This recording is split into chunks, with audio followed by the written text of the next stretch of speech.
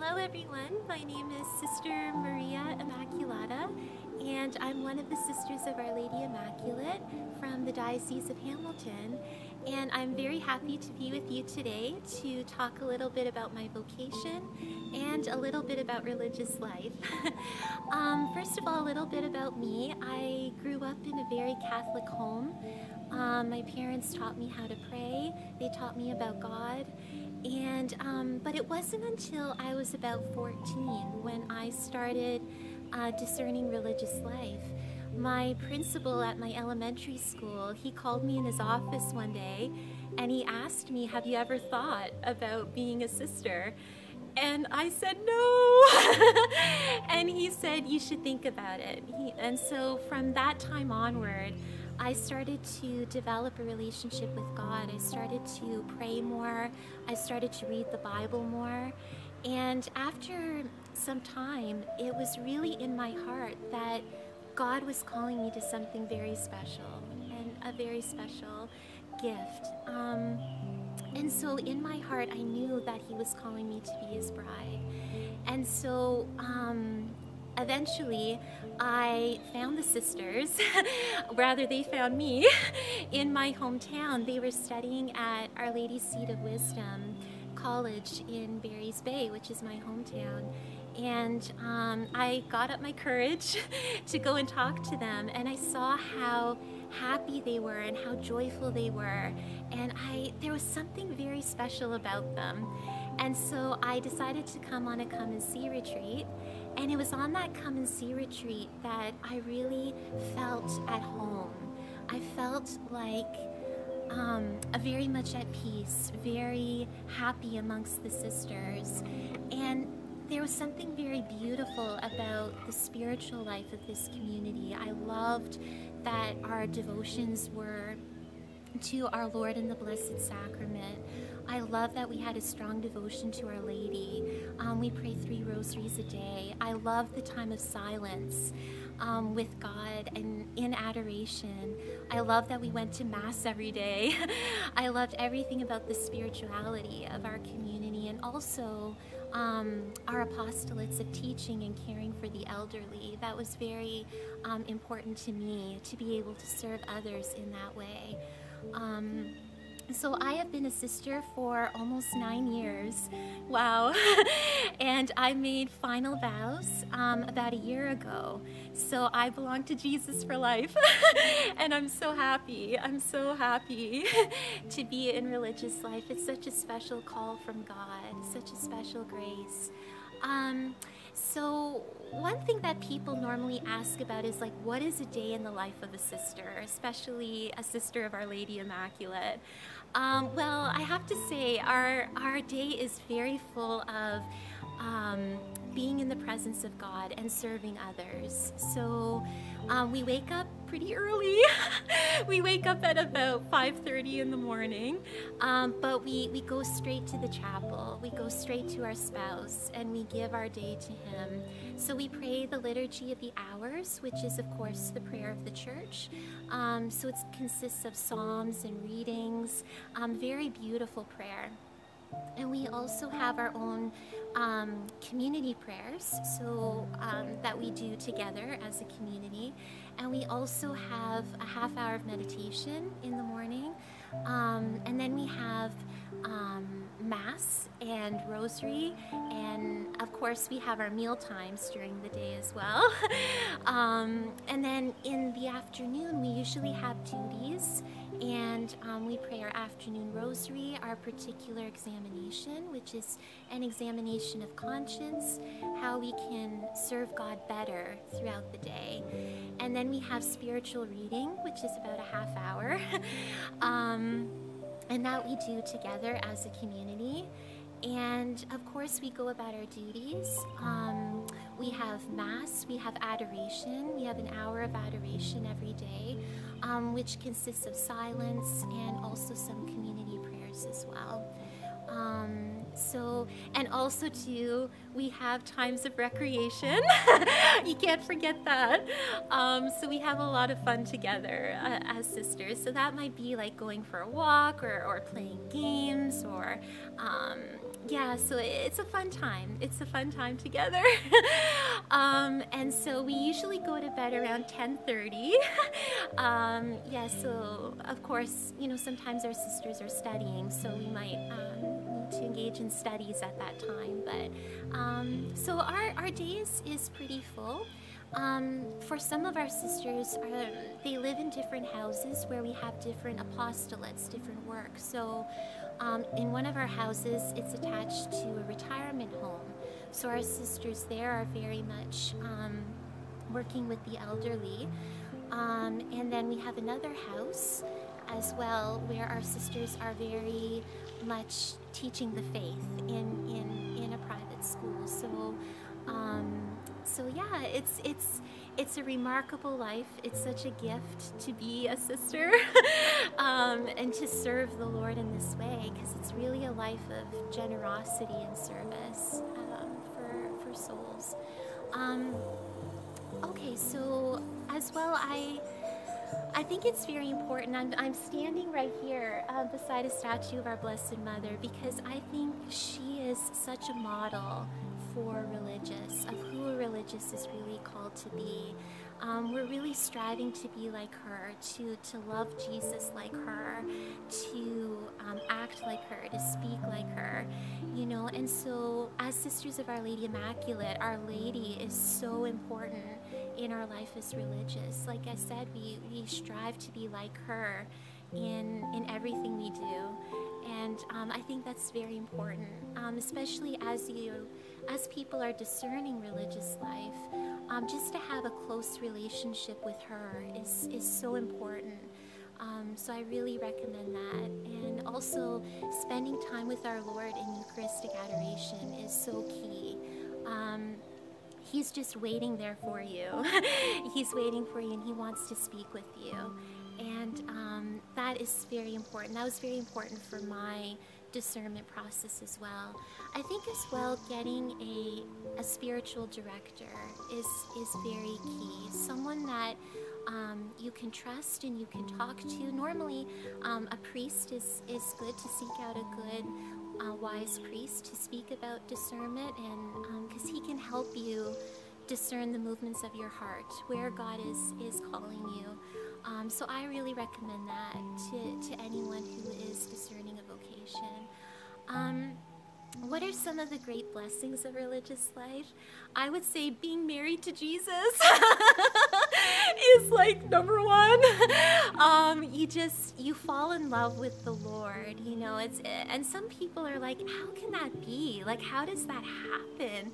And I said, well, it's kind of like when a young woman falls in love with a man. You know, it's just like she wants to spend time with him. She wants like to be every minute with him. You know, and so it's the same with us as as sisters and as young women who are discerning. We just fell in love with the Lord. We just wanted to be with Him, and we we just wanted Him.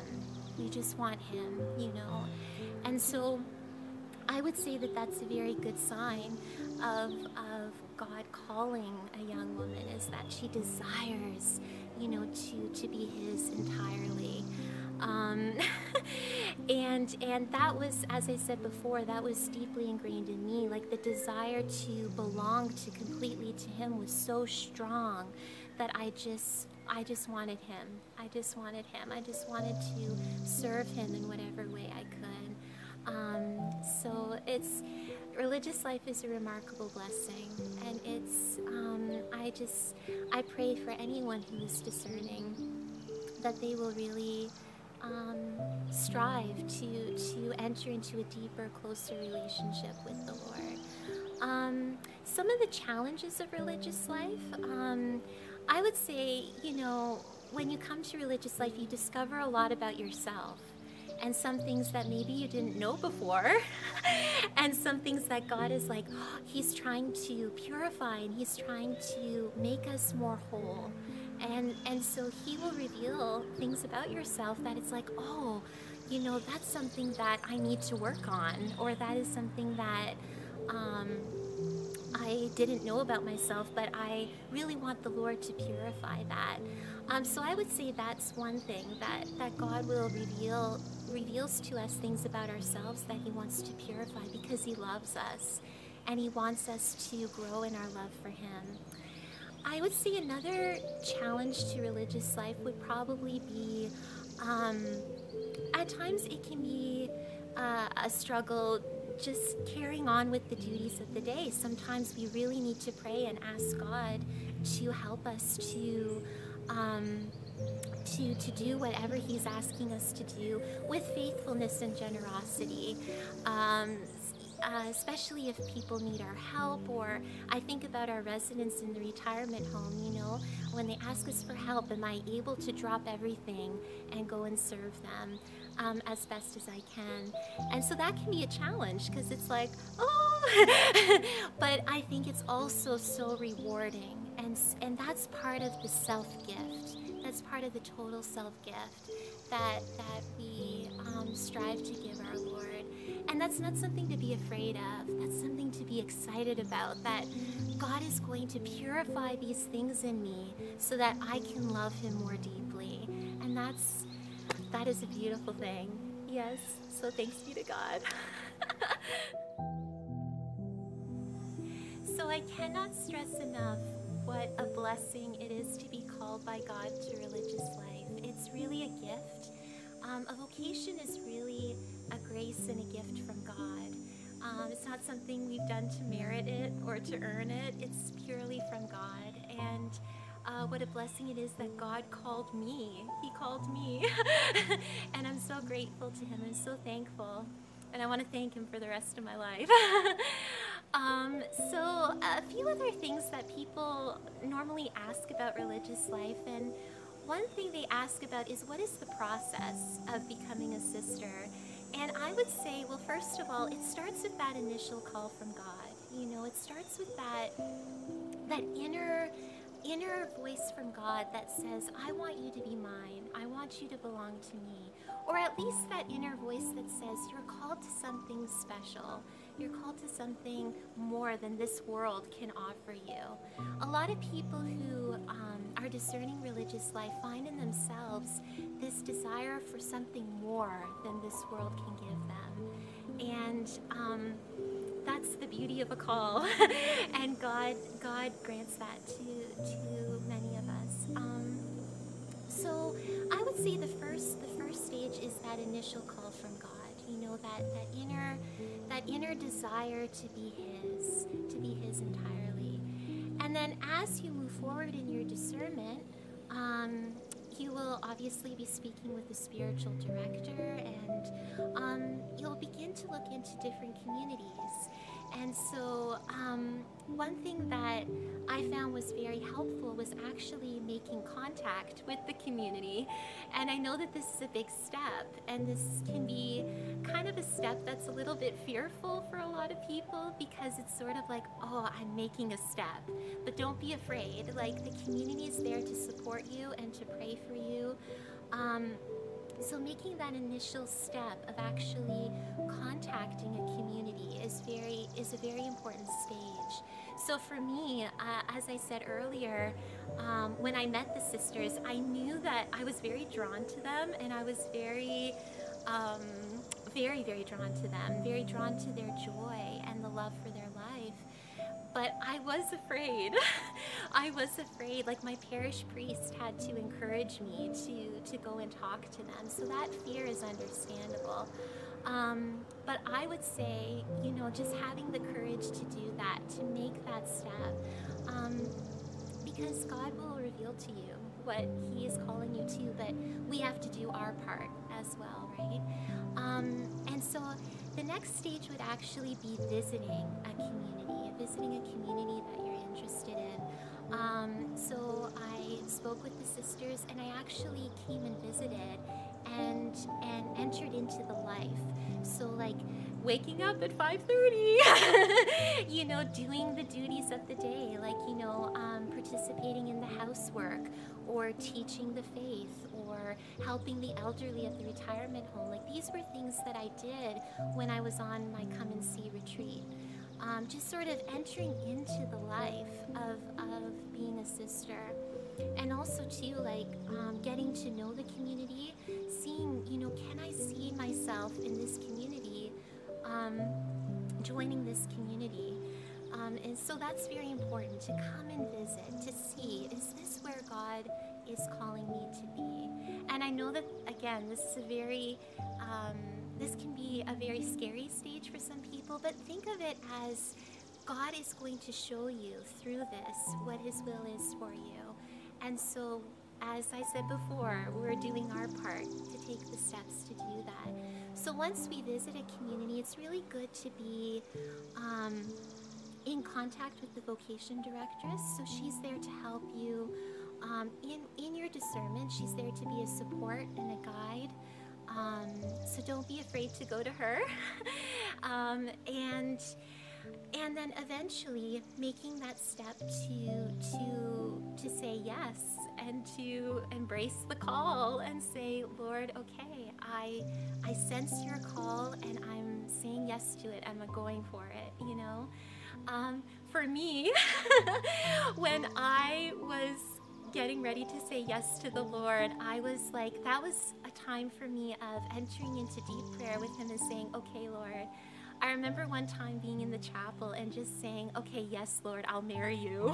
I just I said to him like, "Lord, yes, I'm going to I'm going to marry you." Like I really sense this call and it's it's time. It's time.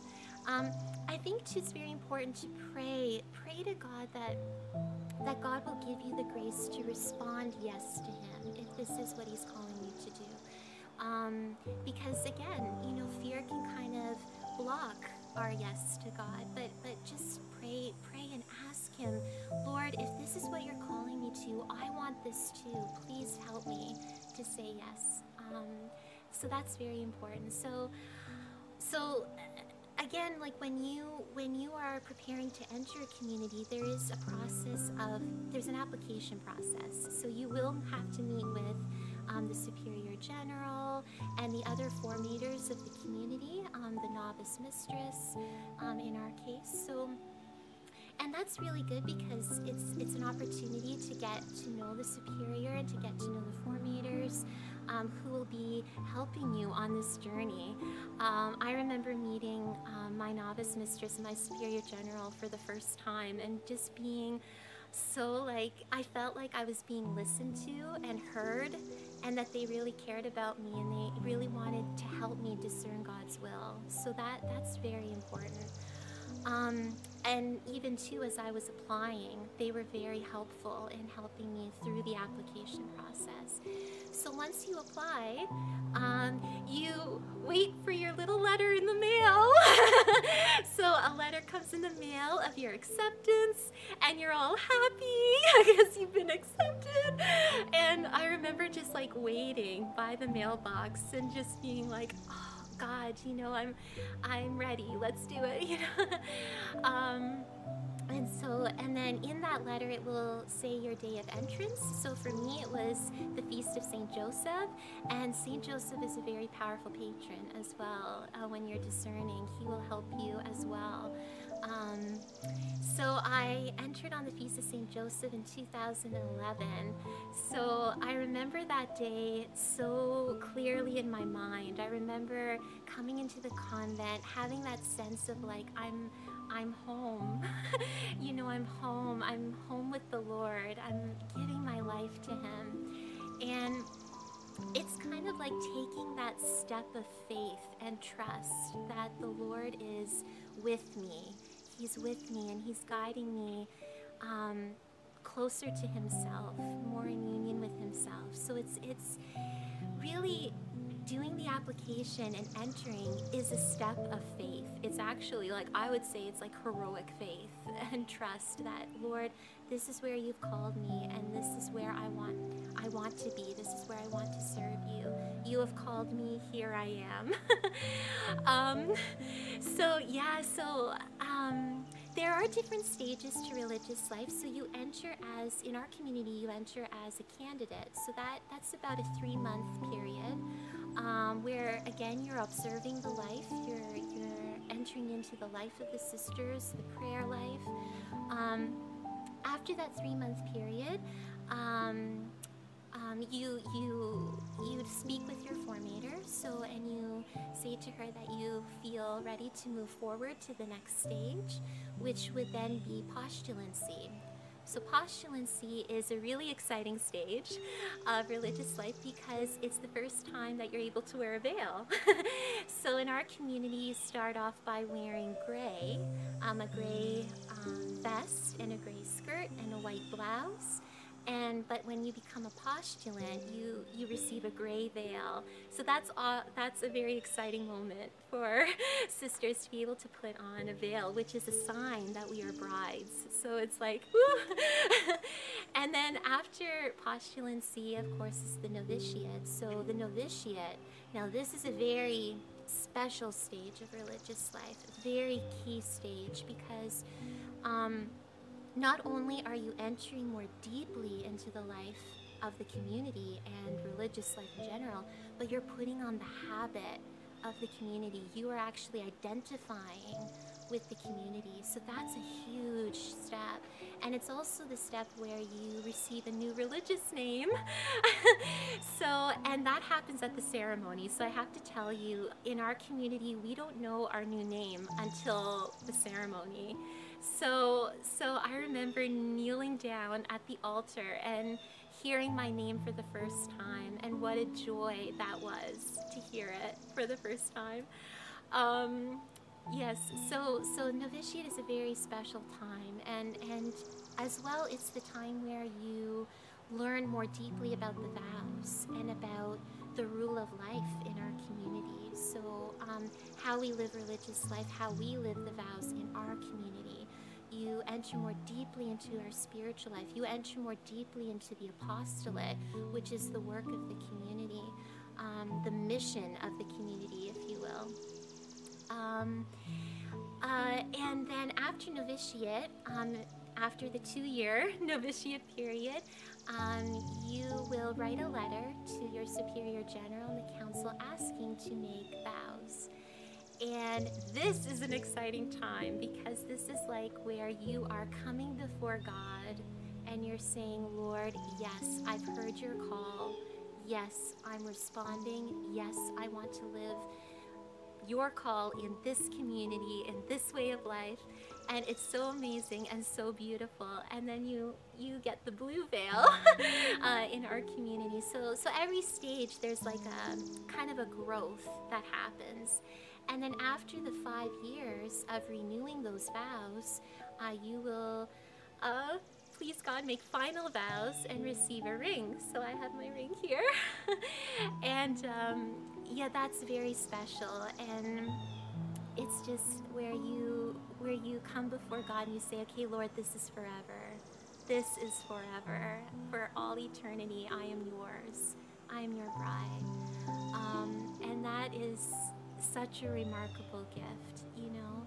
Um, I have found as I live religious life more and more that I have gained so much, you know, I, that the Lord has given me so much. You know, I've lo- I have lost nothing, but I've gained so much, you know, and God is never outdone in generosity. You know, He, whatever fears you have about discerning religious life, he is going to take care of them all.